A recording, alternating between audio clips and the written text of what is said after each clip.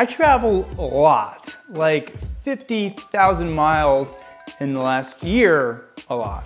And when you travel, a lot of times you're stuck in airplanes or airports or tiny hotel rooms where you're trying to work on your laptop and you just don't have a lot of space, but you still need to get work done. And being an obsessive optimizer, along the way I've figured out my own little methods or tricks to make those situations better.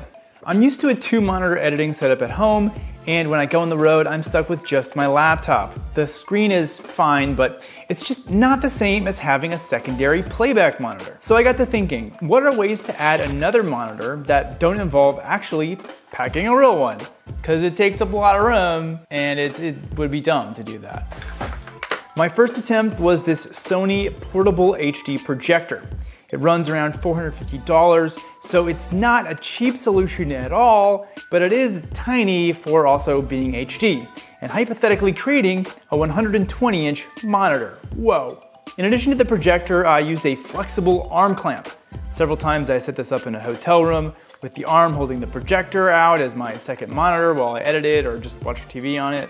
It worked okay, but there were a lot of variables to deal with, like sunlight and so on and I generally kept it pretty close to the wall to keep the brightness high, which meant I wasn't getting much screen size for the trouble. I decided I needed an actual physical monitor with an HDMI input, so I hopped on Amazon to do some sleuthing.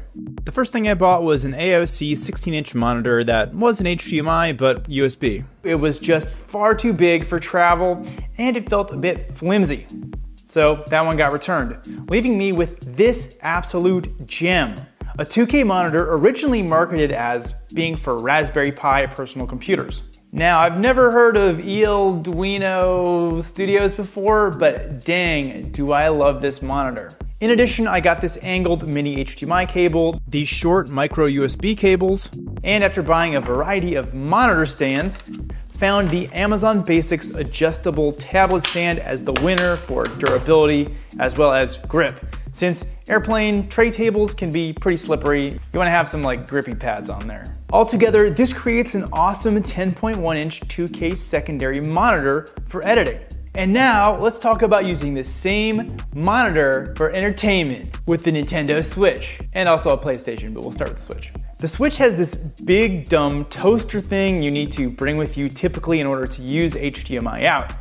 But after some research, I found this $42 C-Force CF001 adapter that minimizes the footprint quite a bit. Now, my main use for this setup was on a flight. Airplane plugs give you 85 watts of electricity, which is just barely enough to run the Switch as well as have the USB power the monitor. There's something kind of magical about playing video games on a flight on a semi decent screen. And even though it's a little janky, this setup can fit just fine on a standard tray table and gives you a screen size about double the original Switch screen, or maybe more or less. I'm not good at estimating this stuff, guys. My one quibble with the monitor is that when playing Switch, the aspect ratio is very slightly off, something that most people might not notice, but drives me friggin' nuts.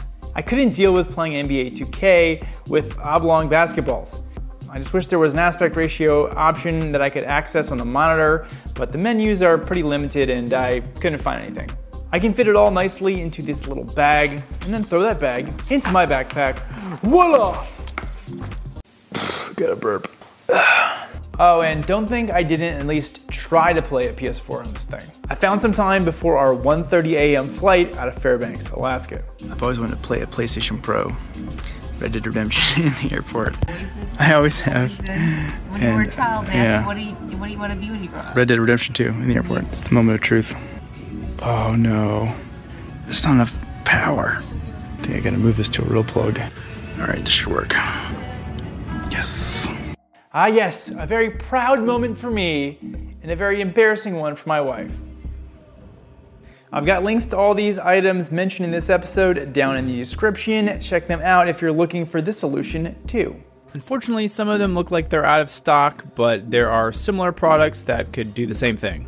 If you like this video, please subscribe for more travel related stuff. I'd also like to thank my patrons who help fund and motivate these monthly videos.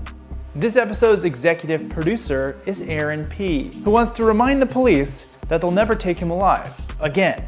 Thanks for watching, and we'll see you next time.